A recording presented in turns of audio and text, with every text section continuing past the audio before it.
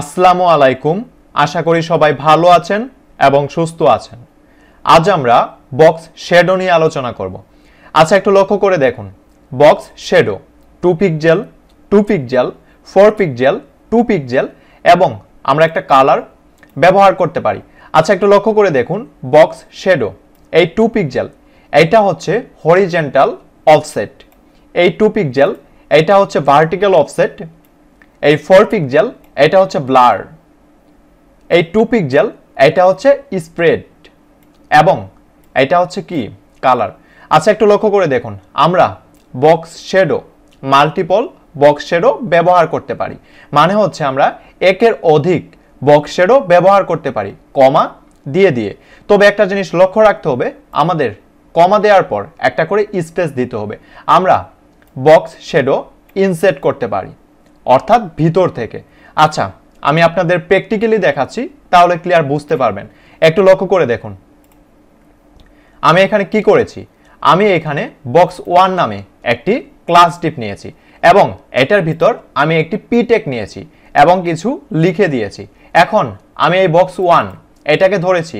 এটাকে ধরে দেখুন, এটার আমি উইথ করে দিয়েছি তিনশো পঞ্চাশ পিকজেল হাইট করে দিয়েছি তিনশো পঞ্চাশ পিকজেল বর্ডার করে দিয়েছি থ্রি পিকজেল সলিড এই কালার বর্ডার রেডিয়াস দিয়েছি টেন পিকজেল মার্জিন দিয়েছি, উপরে নিচে টোয়েন্টি পিকজেল ডানে বামে অটো এবং ব্যাকগ্রাউন্ড কালার করে দিয়েছি গ্রে এখন আপনি এটা একটু কাট প্লাস এস দ্বারা সেভ করে এখান থেকে যদি একটু রান করেন, তাহলে এটা এমন দেখাবে। আচ্ছা এখন এটার ভিতর আমরা বক্স শেডো ব্যবহার করব। এইখানে আপনি লিখে দেন বক্স শেডো এই কথাটা লিখার পর আপনি এখানে টু পিকজেল সেমিক্লন এটা একটু সেভ করে এখানে একটু রিলোড করুন। দেখুন, এটার কোনো আমরা পরিবর্তন দেখতে পাচ্ছি না। এই প্রথমটা, এটা হচ্ছে কি? হরিজেন্টাল অফসেট এখন আপনি টু পিকজেল এটা লিখে একটু সেভ করে এখান থেকে একটু রিলোড করুন। দেখুন, এইখানে একটা বক্সেরও আমরা দেখতে পাচ্ছি। এটা হচ্ছে কি? হরিজেন্টাল অফসেট এটা হচ্ছে ভার্টিক্যাল অফসেট এবং এখানে একটা ডিফল্টভাবে কালার পেয়ে গেছে, সেটা হচ্ছে ব্ল্যাক কালার আমরা যদি এখানে করে দেই টমাটো কালার তাহলে দেখুন, সে টমাটো কালার পেয়ে যাবে। আচ্ছা আপনি এটার মানটা একটু বাড়াই দেন। টোয়েন্টি পিকজেল করে দেন কাট প্লাস দ্বারা সেভ করে এখানে একটু রিলুট করুন। দেখুন, এটা ডান দিকে টোয়েন্টি পিকজেল পেয়ে যাচ্ছে। আচ্ছা আপনি এটা টোয়েন্টি পিকজেল করে দেন। দেখুন, এটা নিচের দিকে টোয়েন্টি পিকজেল পেয়ে যাবে। কারণ এই প্রথমটা হচ্ছে কি? হরিজেন্টাল অফসেট এটা হচ্ছে ভার্টিক্যাল অফসেট হরিজেন্টালের কাজ হচ্ছে সে ডানে বামে কাজ করবে এবং ভার্টিক্যাল অফসেটের কাজ হচ্ছে সে উপরে নিচে কাজ করবে। এখন আমরা যদি এটাতে মাইনাস করে দিই মাইনাস টোয়েন্টি পিকজেল তাহলে দেখুন এটা বাম দিকে সরে আসবে। কাটলাসেস দ্বারা সেভ করে এখানে একটু রিলুট করুন। দেখুন, এটা বাম দিকে সরে আসবে।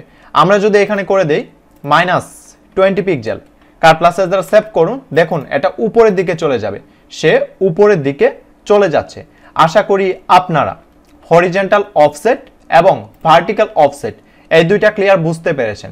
এখন আমরা ব্লার নিয়ে কাজ করব। ব্লারের কাজ হচ্ছে সে হরিজেন্টাল অফসেট এবং ভার্টিক্যাল অফসেট এই দুইটাকে ঝাপসা করে দিবে। আচ্ছা একটু লক্ষ্য করে দেখুন। আমরা যদি এখানে লিখে দিই টু পিকজেল, এখন একটু এখানে একটু রিলুট করুন। দেখুন, সে অনেকটা ঝাপসা হয়ে গেছে। আপনি এটাকে করে দেন ফাইভ পিকজেল কাট প্লাস দ্বারা সেভ করে এখানে একটু রিলুট করুন। দেখুন, সে অনেকটা ঝাপসা হয়ে গেছে।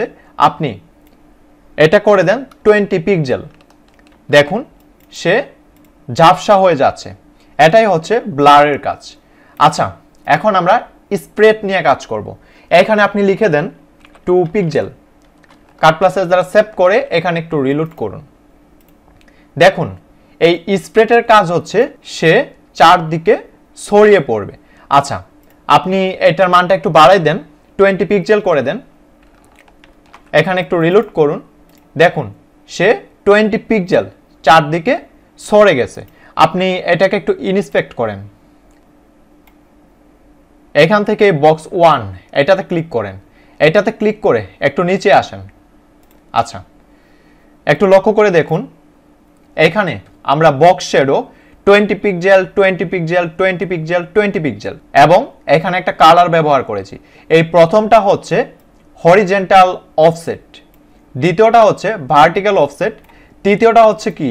ব্লার চতুর্থটা হচ্ছে স্প্রেড আচ্ছা আপনি একটা কাজ করেন। এটা আপনি, এটার মানটা আপনি একটু কমান। এটা হচ্ছে কি?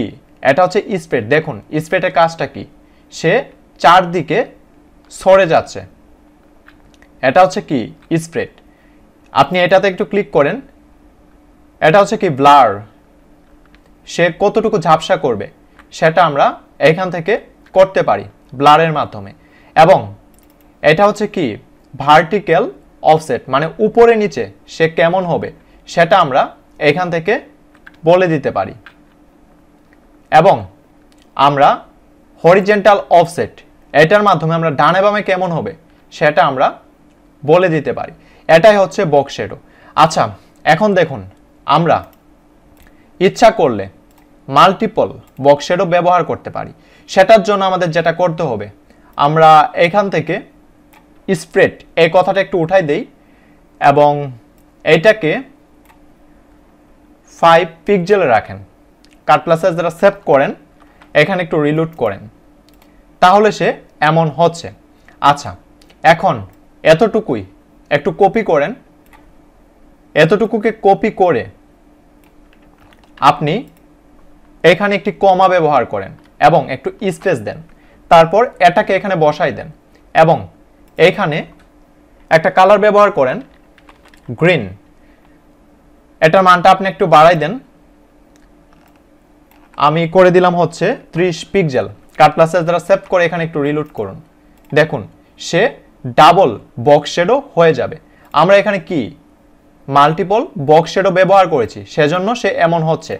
আমরা যদি এইখানে কমা দিয়ে স্পেস ব্যবহার করি, ব্যবহার করে আমরা যদি এখানে করে দেই, কত? সাপোজ ধরেন, আমরা করে দিলাম হচ্ছে চল্লিশ পিকজেল এবং এখানে আমরা একটা কালার ব্যবহার করলাম, সেটা হচ্ছে রেড কাট প্লাসের দ্বারা সেভ করুন, এখানে রিলুট করুন। দেখুন, তিনটা বক্স শেডো আমাদের এখানে কাজ করতেছে। আমরা যদি ইচ্ছা করি, এটাতে কি?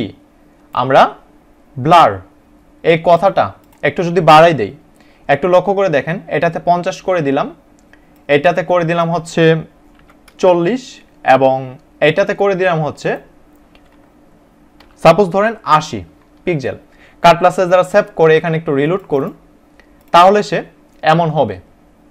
আচ্ছা এটা ভালো লাগতেছে না? আচ্ছা যাই হোক, এখন দেখুন, আমরা যদি ইচ্ছা করি, দেখুন আচ্ছা এটাকে একটু ইনস্পেক্ট করেন। ইনস্পেক্ট করে একটু লক্ষ্য করুন। আমরা এখানে কি করেছি দেখুন। এখানে আমরা দেখুন বক্সেরও এগুলো ব্যবহার করেছি। এখান থেকে আপনি এটার মানটা একটু কমাই দেন। দেখুন, এখানে চেঞ্জ হচ্ছে। এখানে সে চেঞ্জ হচ্ছে। আপনি এটার মানটা একটু কমাই দেন। তাহলে সে এমন হবে। আপনি এটার মানটা একটু কমাই দেন। সেম একই রকম করে, এটা একটু কমাই দেন। যখন আমরা মাইনাসে যাচ্ছি, তখন সেটা চলে যাচ্ছে। সেম একই রকম, এটার মানটা একটু কমাই দেন। এটা একটু কমাই দেন। সেম একই রকম করে, এটাকে ধরেন, এটাকে ধরে এটার মানটা একটু কমাই দেন। এটা একটু কমাই দেন। এটা এরকম থাক। এটা একটু কমাই দেন। এটা এমন থাক। এখন আপনি এটা একটু বাড়াই দেন। আচ্ছা এটা একটু বাড়াই দেন।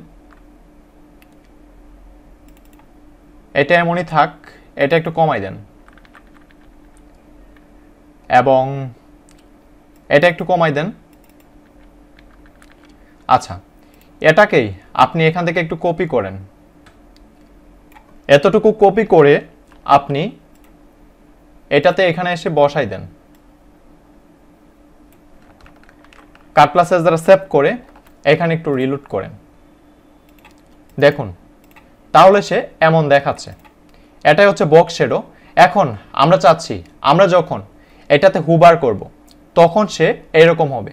সেটার জন্য আমাদের যেটা করতে হবে, আমাদের এইভাবে বলতে হবে।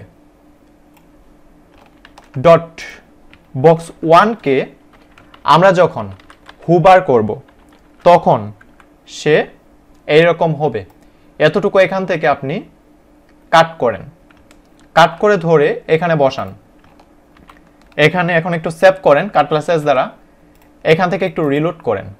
দেখুন, সে ডিফল্টভাবে এরকম আছে। আমরা যখন এই বক্সটাকে হুবার করব, তখন সে এরকম হয়ে যাচ্ছে। এটাই হচ্ছে বক্সেরও আমরা এটাতে অপাসিটি ব্যবহার করে অনেক সুন্দর করে ডিজাইন করতে পারব।